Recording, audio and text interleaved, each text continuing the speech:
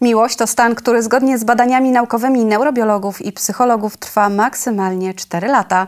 Wymaga od nas dbania o uczucie. Jedną z tych form może być świętowanie walentynek. Postanowiliśmy dowiedzieć się od młodzieży, co można robić w ten dzień. Ja uważam, że walentynki są ogólnie takie niefajne, niestosowne, bo chłopak czy tam dziewczyna powinna dawać prezenty bez okazji, a nie specjalnie walentynki. Ale można coś robić wyjątkowo, no jeżeli myślimy o tym, żeby coś zaplanować, to co warto? Y, Ja bardzo lubię prezenty własnoręcznie robione. Nie lubię jakichś maskotek, czekoladek, to jest takie oklepane. Jak można spędzać czas z walentynki? Z ukochaną osobą oczywiście. A w jaki sposób? A to już zależy od preferencji.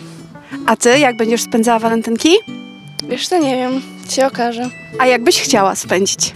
Dobrze, Czyli? miło, w towarzystwie znajomych. W sumie to e, nie, nie, nie myślałam nad tym, jakby mogły wyglądać takie idealne walentynki, ale no ja akurat jedę do chłopaka po prostu, także będziemy w domu raczej, bo jest chory. Ten dzień to raczej spędza się z ukochaną osobą.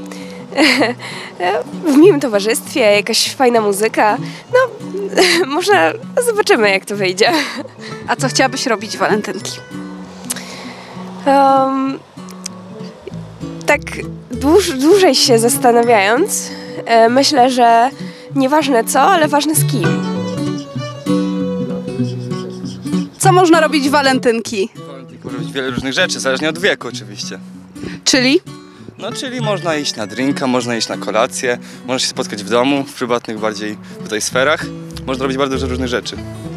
A jak powinny wyglądać takie idealne walentynki? Wszystko zależy od pary, no bo każda para jest inna. Zależy jaki jest dziewczyna, jaki chłopak, co lubią robić, co, jak lubią spędzać czas, jakie są ich pasje, wszystko. Niektóre dziewczyny lubią kwiaty, niektóre wolą sobie drineczka wypić. Wie pani o co chodzi. Ja obchodzę walentynki, yy, może nie z chłopakiem, ale z przyjaciółmi. A w jaki sposób świętujesz? Robię im walentynki, jakieś prezenty dajemy sobie w ten sposób. A jak można obchodzić walentynki?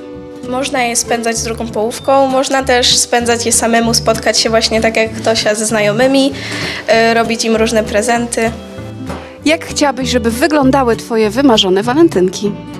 Ja w sumie to nie wiem, ale ja bym, ja bym chciała, no ja bym, moje wymarzone walentynki to na przykład, żeby tam z przyjaciółmi, no bo ja tam jeszcze nie spieszy mi się do, żeby mieć drugą połówkę i coś w tym stylu.